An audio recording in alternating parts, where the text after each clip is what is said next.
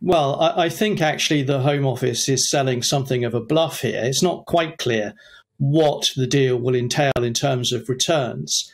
Um, it's also been said by the Home Office that people are going to continue to not have their asylum claims dealt with in this country if they arrive by small boats or indeed other means that the Home Office doesn't specifically permit.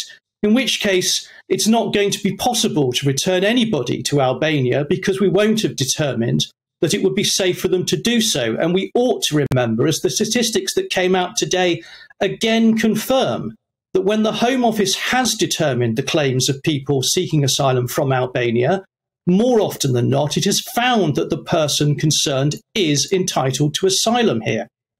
Okay, but what will it take, though? What will it take for people like you to wake up and smell the coffee that Britain is being taken for a ride? Yes, all right, okay, fair enough. There are people who have a genuine asylum claim. You, we, by definition, are a very welcoming country because of something that you've alluded to there. It's taking so long for people to have their uh, asylum claims processed. They're up in hotels. Uh, then, when if they do get it processed, we're already using not just uh, council, existing council housing stock. The Home Office is now dipping into the lower end of the private rental sector as well. We're not this frothing racist nation, but when you've even got someone who's essentially in and around the Albanian government saying loads of the Albanians are coming here to essentially work in your black market, what will it take for people like yourself to go, hang on a minute, we need tighter controls?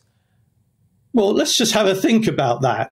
It is not unusual at all for the government officials of various places from which people flee from persecution to claim that actually everything is wonderfully safe in their country. Of course, they have every reason to try and portray everything as fine and dandy where they are. So I don't take great store by that at all. I think far more can be taken from the fact that for a very long time now, consistently, Home Office decision making shows that it finds more people who claim from Albania are entitled to asylum here than not.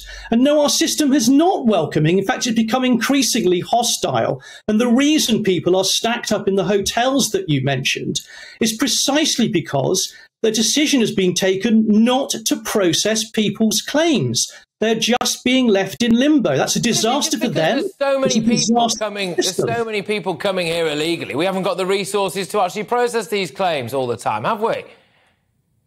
We've perfectly got the resources to do this. We still receive very few people seeking asylum compared to many of us, our nearest neighbours. We are not disproportionately affected by people seeking asylum. And the reason the backlog has spiraled out of all of control is that Priti Patel's policies for over three years have consistently, month on month, throughout that time, driven that backlog ever up. She needs to just determine claims and deal with them properly. Okay, I'm just going to point something out here. We had an email in when I when I said that you were coming on the show, um, and they said, "Please be ready to point out to Steve that we are the most densely populated country in Europe, three times the population density of France, etc., etc., etc." So actually, when people use the argument that other areas or other countries take more or a higher proportion than we do, we've got less space to give. And I want you to just look down the camera now and tell the nation why a young single mum with mental health problems who's lived here and paid into the tax system all her life or someone who's fought for this country and lost a limb at war, for example, should now be bumped down the social housing list so someone who we've got no idea who they are or where they're from can get a room in a hotel while their claim is processed. Why are they more important than people who are already here for you? Everybody who has rights that, to which you allude is important, and the government should be doing far more on all of those fronts. But the first point that you started with, Let's just ask the question. It's true. Some countries are far less densely populated than ours. Canada or Greenland or such hmm. like. Yes. So why should everybody go there? They're not more able of dealing with people who claim asylum. Similarly, some countries are far more densely populated than us. Lebanon or indeed Rwanda, the places that we seem to think should be responsible for so many more people than us. It's not about geographic size, it's about capacity to deal with people and provide for asylum as we are obliged, like other nations, to do. And frankly, we don't do as much as many, many others.